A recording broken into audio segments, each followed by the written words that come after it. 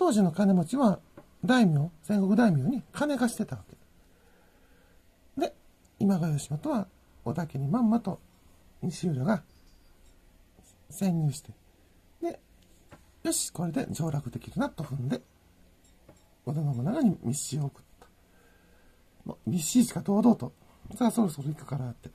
で、ここで、中国の三国縛りの解明のなんか式をやりたいと。いう申し出がまあ、織田からあったわけ。信長からね。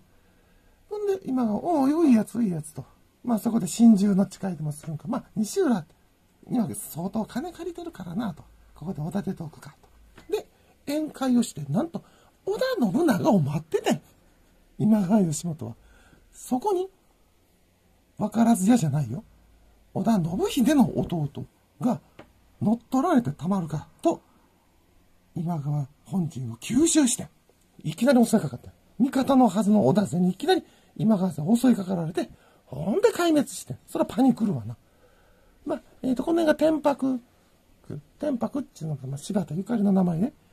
で、柴田勝家後に、織田雄斎になった。その子供が落斎。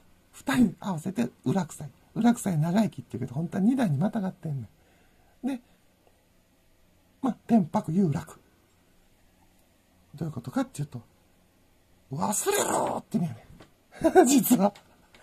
この事情忘れてくれよって言うねん。で、柴田勝家は、織田信秀の後を継いで、織田家を相続したわけ。